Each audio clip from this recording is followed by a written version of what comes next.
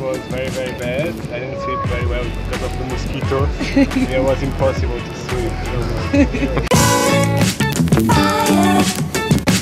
meet new persons, different cultures, different countries. And I, my, my, my big dream is travel around the world. In Bordeaux, I was tasting wines.